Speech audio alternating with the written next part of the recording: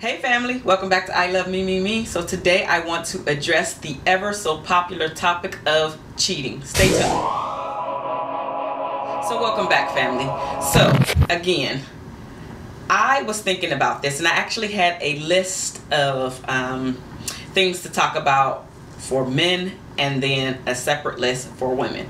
And actually I scrapped those videos. I didn't even put them up because I personally feel that there are only two, two reasons, two, why you decide to go ahead and cheat.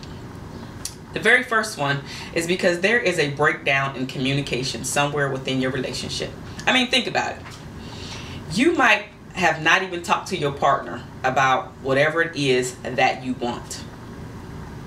And so because maybe you're scared to talk to your partner or maybe you brought it up to your partner once before and they just wasn't feeling that particular thing, you still think that you are supposed to have that thing. Forget that it's not with your partner or forget that your partner didn't agree to it. You still want it. So there is a breakdown in communication somewhere within your relationship.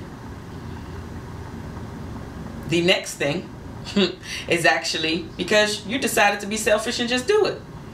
See, I want people to understand that cheating is a selfish act. It has nothing to do with what your partner is or is not doing.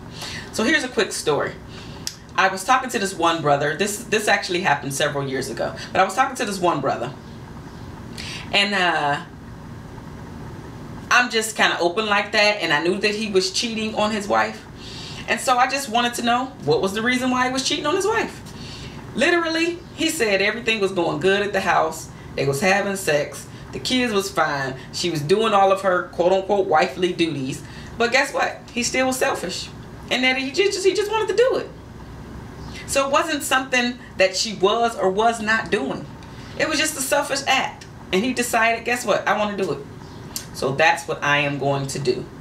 So literally, those are the two reasons why everybody cheats. Breakdown in communication somewhere within your relationship.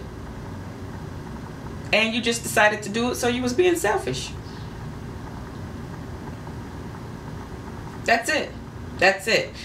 The excuses of why you decided to step out on your partner do not matter.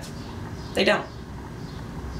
So people have a tendency to forget that they are not going to receive 100% of what they want from their partner or from any relationship that they decide to get into. So you're willing to throw away 80% of what you want and what you are getting from your current partner to chance throwing away a great thing for a fleeting moment. Don't be selfish. If your partner is doing everything right, let the relationship thrive. Obviously, the choice is yours. Think about it. Two finger salute.